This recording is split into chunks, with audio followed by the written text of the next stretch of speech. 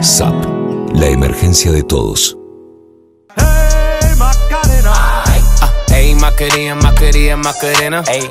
Arrancamos un nuevo bloque de Free Time Verano y seguimos compartiendo y disfrutando los principales eventos y entrevistas. Y por supuesto, vamos a disfrutar juntos este gran verano acá en Índigo, Atlántida. Vamos hasta el Hotel Radisson Victoria Plaza porque nuestros amigos y colegas de Cicerone despidieron el año a pura salsa.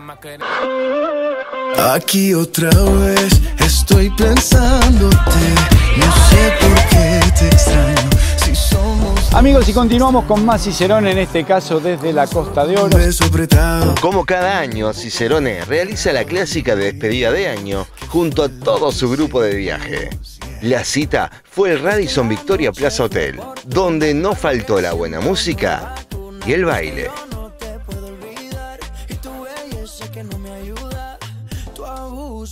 Miguel, antes que nada, gracias por estar siempre, por acompañarnos. La verdad que yo creo que ya soy figurita repetida. Somos unos afortunados de la vida de poder tener este tipo de proyectos. También asociar los viajes, bueno, ahora hablando un poquito más en serio, con lo que hacemos y que realmente ha sido un año de muchísimo trabajo para ustedes, para nosotros, eh, la gente que nos apoya, que quiere ver lo que hacemos. Y bueno, y hoy es eh, un poco el reflejo ese, ¿no? La cantidad de personas, casi 200 personas que nos acompañan eh, en un cierre de año. Sabes que Cicerone es un programa de televisión, es una agencia de viaje y es un club de viaje. Entonces tenemos esos viajeros frecuentes que también nos acompañan, que disfrutan mucho de, de, bueno, de, de tener estas experiencias y también de decir, podemos cerrar un año juntos. Que hoy ustedes son amigos, colegas, ellos también... se- Hoy lo estamos viendo. Una, una fiesta que se logra porque los pasajeros acompañan. Entonces podemos generar cantidad de cosas porque ellos la pasan bien, nosotros la pasamos bien y la verdad que entre todos generamos esto. Ya hay destinos para el próximo 2020, de eso se trata, se vienen sorteos, hubo shows musicales para el arranque, o sea, una gran fiesta por delante acá en el radio. tres minutos esa pantalla va a empezar a pasar imágenes. 24 viajes confirmados grupales para el próximo año, dos por mes. Y eso es solamente el plan. ¿Qué Hay mucho le tenés que hacer? ¿Eh? No, me- De esos 24. De esos 24, fíjate a ver dónde. No, ¿cuál es el nuestro? ¿Cuál es el nuestro? Claro. Bueno, hagamos esto. Miralos y después nos sentamos a conversar. Tenemos que negociar con López. Muchos kilómetros son los que han recorrido tanto Diego como Franco Porcile, pero no todo lo que brilla es oro. Hombres de viaje. El peor viaje de tu vida. ¿Recuerdan algún destino que digan? No voy a hablar de eso en teléfono, está- para, está. No, hay anécdotas increíbles. No, no. Maldad de que le he hecho picardía de...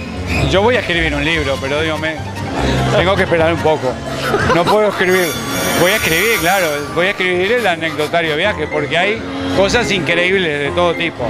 Pero digo, desde, viajar con un hijo desgraciado y un amigo en un crucero, y que, y que el hijo desgraciado en un crucero donde hay nada más que en la mesa unas 1.400 personas y se ponga de acuerdo con el metro y los mozos y, te festeje el aniversario gay con un amigo. La, la última noche...